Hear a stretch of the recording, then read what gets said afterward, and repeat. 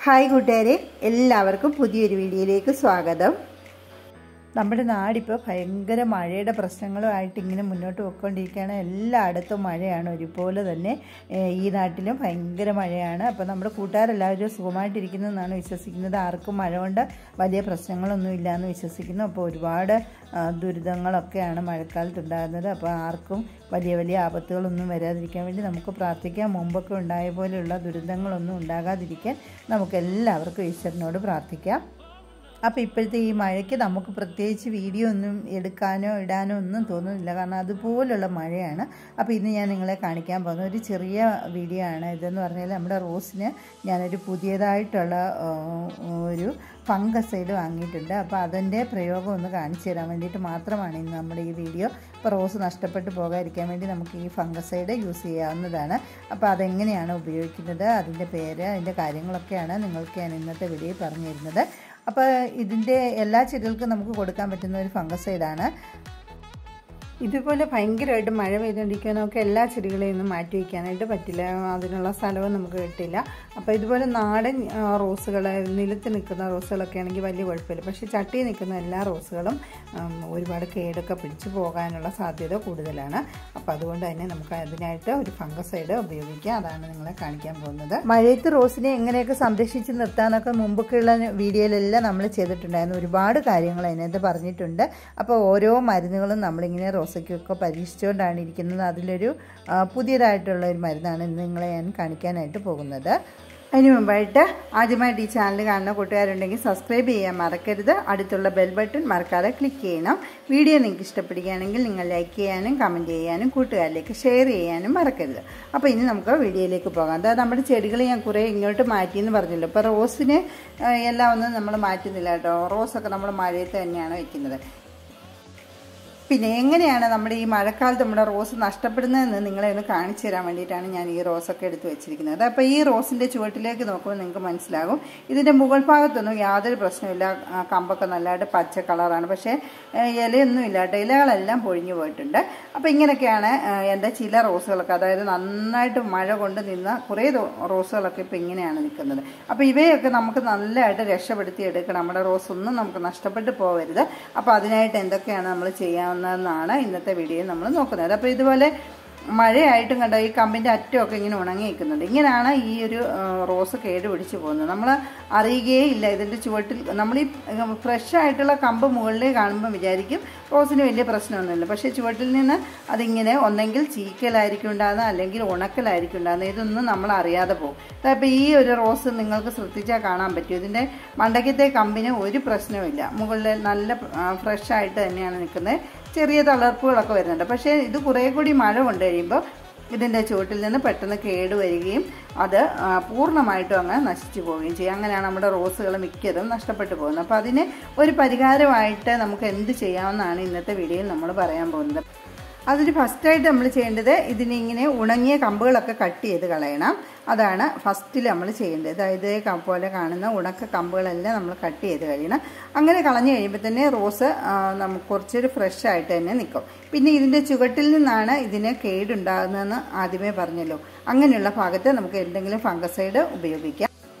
സാധാരണയായി എല്ലാവരും ഉപയോഗിച്ച് വരുന്ന ഫംഗസൈഡാണ് സാഫ് സ്യൂഡോമോണാസ് ഇവയൊക്കെ ഇത് ഉപയോഗിക്കുന്നത് വെള്ളത്തിൽ ഡൈല്യൂട്ട് ചെയ്തിട്ട് സ്പ്രേ ചെയ്ത് കൊടുക്കുകയോ അല്ലെങ്കിൽ മണ്ണിൽ ചേർത്ത് കൊടുക്കുകയൊക്കെയാണ് സാധാരണ ചെയ്യാറ്.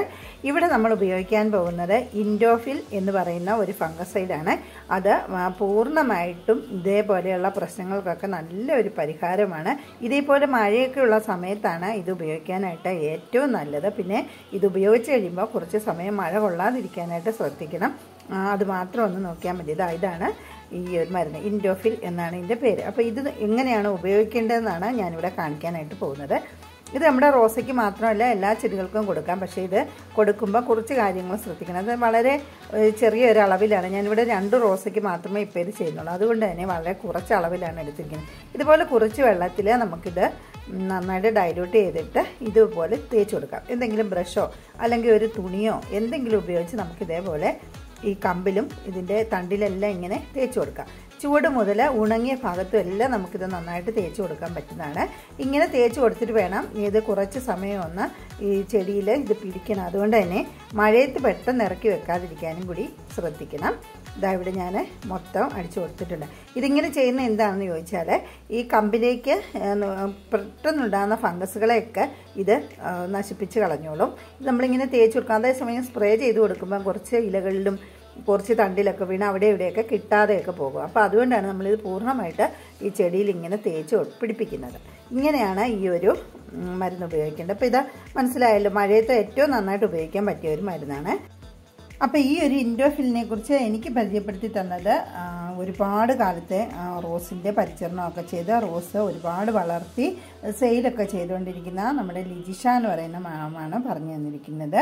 അപ്പം നിങ്ങളൊക്കെ അവരുടെ വീഡിയോ ഒക്കെ കാണാറുണ്ടല്ലോ? ഞാൻ ഒരുപാട് റോസിന്റെ വീഡിയോസ് അവരുടെ ചെയ്യാറുണ്ട്. അപ്പോൾ അവർക്ക് ഇതേക്കുറിച്ചൊക്കെ നന്നായിട്ട് അറിയാവുന്ന ആളാണ്. അപ്പോൾ അതുകൊണ്ടാണ് എനിക്ക് ഈ ഒരു മരുന്ന് പറഞ്ഞു തന്നിരിക്കുന്നത്. അപ്പോൾ അത് നിങ്ങളിലൂടെ ഒന്ന് ഷെയർ ചെയ്യാമെന്ന് വിചാരിച്ചിട്ടാണ് നമ്മളിപ്പോൾ ഈ വീഡിയോ ചെയ്തിരിക്കുന്നത്. അപ്പോൾ ഇനിയിപ്പോൾ നമ്മൾ ചെയ്യേണ്ടത് ഈ മണ്ണ് നന്നായിട്ട് ഒന്ന് ഇളക്കി കൊടുക്കുക അതിന് ശേഷം നമുക്ക് കുറച്ച് വളവും കൂടി ഇതിനിട്ട് കൊടുക്കുക ഇപ്പോൾ മഴക്കാലത്ത് നമ്മൾ ചെയ്യാൻ പറ്റിയൊരു വളവെന്ന് പറഞ്ഞാൽ എല്ലുപൊടിയാണ് കേട്ടോ. എല്ലുപൊടിയും അതിന്റെ കൂടെ ഞാൻ കുറച്ച് സുഡോമോണാസും കൂടി ഇതിനകത്ത് ഇട്ട് ഒന്ന് മിക്സ് ചെയ്തതിന് ശേഷം അത് രണ്ടും കൂടിയാണ് ഇട്ട് കൊടുക്കുന്നത്. കാരണം മണ്ണിൽ അതായത് എന്തെങ്കിലുമൊക്കെ അണുക്കളൊക്കെ ഉണ്ടെങ്കിൽ സീഡോമോണാസ് ഇതുക വഴി അതും അങ്ങ് മാറിക്കിട്ടും. നമ്മളിപ്പോൾ കൊടുത്തിരിക്കുന്നത് ചെടികളുടെ തണ്ടിൽ മാത്രമാണ്. അത് അതിന്റെ ചുവട്ടിലേക്കൊക്കെ ചെല്ലും. എങ്കിലും ഈ മണ്ണിനകത്ത് എന്തെങ്കിലുമൊക്കെ കീടങ്ങളോ ഫംഗസുകളോ ഒക്കെ ഉണ്ടെങ്കിൽ അതൊക്കെ മാറിക്കിട്ടാൻ വേണ്ടിയിട്ടാണ് നമ്മൾ സീഡോമോണാസും ഇതുപോലെ തന്നെ അതിന് വളമായിട്ട് എല്ലുപൊടിയും കൂടി കൊടുക്കുന്നത്.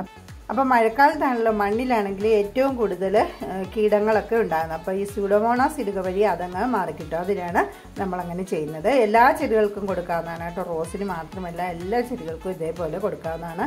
അപ്പോൾ ഈ ഒരു സമയത്ത് ജൈവവളം അധികം ഉപയോഗിക്കാതിരിക്കുന്നതാണ് നല്ലതെങ്കിൽ എല്ലുപൊടി എന്ന് പറയുന്നത് പതുക്കെ മാത്രമേ ചെടികൾക്ക് പ്രയോജനം കിട്ടുകയുള്ളൂ. അതുകൊണ്ട് തന്നെ നമുക്കിപ്പോൾ ഇട്ട് കൊടുക്കുകയാണെങ്കിൽ മഴവെള്ളമൊക്കെ വീഴുമ്പോൾ ഇത് പെട്ടെന്ന് മണ്ണുമായിട്ട് അങ്ങ് യോജിക്കുകയും ചെടിക്ക് കിട്ടുകയും ചെയ്യും. അപ്പോൾ അതാണ് അതിന്റെ ഒരു ഗുണമെന്ന് പറയുന്നത്. ഏറ്റവും നല്ലതായിട്ട് ചെടി പൂക്കാനൊക്കെ ഉപയോഗിക്കുന്ന ഒരു സാധനമാണ് എല്ലുപൊടി. ഫോസ്ഫറസ് ഒക്കെ ധാരാളം അടങ്ങിയിരിക്കുന്നതാണ്. അപ്പോൾ ഇതാ ഇവിടെ വീണ്ടും മഴയ്ക്കുള്ള ഒരുക്കം തുടങ്ങിയിട്ടുണ്ട് കേട്ടോ. അപ്പം മഴയത്ത് നമ്മുടെ ചെടിയെ എല്ലാം ഒന്നും നമുക്ക് മാറ്റി വയ്ക്കാനായിട്ട് സാധിക്കില്ല. കുറച്ച് ചെടിയൊക്കെ ഞാനിവിടെ ഇങ്ങനെയൊക്കെ മാറ്റി വയ്ക്കുന്ന. അല്ലാതെ എല്ലാ റോസിനെയും ഒന്നും എടുത്ത് മാറ്റാനായിട്ട് നമുക്ക് സാധിക്കില്ല. അതിന്റെ മറ്റൊരു കാരണം എന്ന് പറഞ്ഞാൽ നന്നായിട്ട് മഴ നനഞ്ഞിരിക്കുന്ന സമയത്ത് നമ്മൾ പെട്ടെന്ന് റോസിനെയൊക്കെ എടുത്ത് മാറ്റി കഴിയുമ്പോൾ അതിന്റെ ചുവട്ടിൽ കുറച്ചെങ്കിലുമൊക്കെ വെള്ളം ഉണ്ടെന്നുണ്ടെങ്കിൽ അതിന്റെ വേര് അങ്ങനെ തന്നെ ഇരുന്ന് ചെയ്യും അതേസമയം ഈ മഴയുടെ ഇടയ്ക്ക് കുറച്ച് സമയം ഒരു വെയിലൊക്കെ തെളിയുന്ന സമയത്ത് ആ ഒരു വെയിൽ തന്നെ മതി നമ്മുടെ ചെടികൾക്ക് നന്നായിട്ട് വളരാൻ വേണ്ടി. പക്ഷേ റോസ് അല്ലാതെ മറ്റുള്ള ഇതേപോലെയുള്ള ഈ ഒരു പ്ലാന്റൊക്കെ ഇങ്ങനെയൊക്കെയുള്ള ചെടികളാണെങ്കിൽ അതൊന്നും നമ്മൾ അധികം മഴ കൊള്ളിക്കാതിരിക്കാൻ ശ്രദ്ധിക്കണം. ഞാനപ്പോൾ ഇതേപോലെയുള്ള ചെടികളൊക്കെ ഷെയ്ഡിലൊക്കെ മാറ്റി വെച്ചിരിക്കുകയാണ്. റോസിനെയൊക്കെ മാത്രമേ നല്ല മഴയത്ത് വെച്ചിട്ടുള്ളൂ. അതേപോലെ നല്ലതായിട്ട് വളർന്ന വലുതാകുന്ന ചെടികൾ മാത്രമാണ് ഞാൻ നല്ല മഴയത്ത് വെച്ചിരിക്കുന്നത്.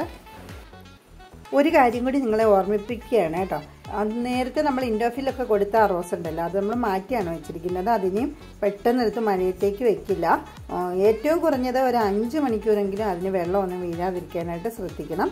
അപ്പോൾ ഒരു ഒന്നോ രണ്ടോ ദിവസത്തിന് ശേഷം അതെടുത്ത് നമുക്ക് നല്ല മഴയത്തിട്ട് വെച്ചാലും മതിയായിരിക്കും. വെള്ളം ഒഴിക്കുന്നതാണെങ്കിൽ ഒരു അഞ്ച് മണിക്കൂറിന് ശേഷം മാത്രമേ ആ ചെടിക്ക് പിന്നീട് വെള്ളമൊക്കെ ആണെങ്കിലും ഒഴിച്ചു കൊടുക്കാവുള്ളൂ. ഇനിയും അല്ലാത്ത സമയത്താണെങ്കിലും വെള്ളം ഒഴിക്കുന്ന ഒരു ടൈമിലാണെങ്കിലും അങ്ങനെ മാത്രമേ ചെയ്യാവുള്ളൂ. പെട്ടെന്ന് ഇൻഡോഫിൽ കൊടുത്തിട്ട് അപ്പോൾ തന്നെ വെള്ളമൊന്നും എടുത്ത് ഒഴിക്കരുത്. കാരണം തണ്ടിലാണ് നമ്മൾ ആ മരുന്ന് പ്രയോഗിച്ചിരിക്കുന്നത്. പെട്ടെന്ന് അത് നഷ്ടപ്പെട്ടു പോകും.